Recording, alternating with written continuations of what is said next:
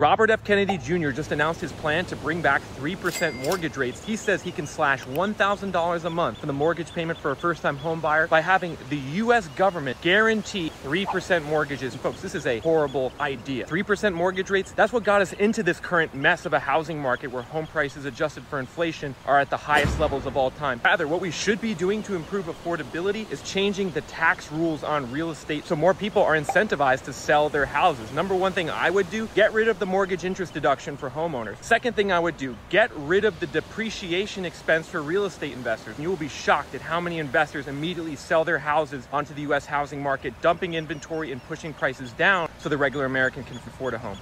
Hmm. Was it really the 3% rates that got us into this mess? And are those the answers to impact affordability? No, it's not. We've got more people at home buying age than ever before in the history of this country. The only thing that's going to impact affordability is by building more houses.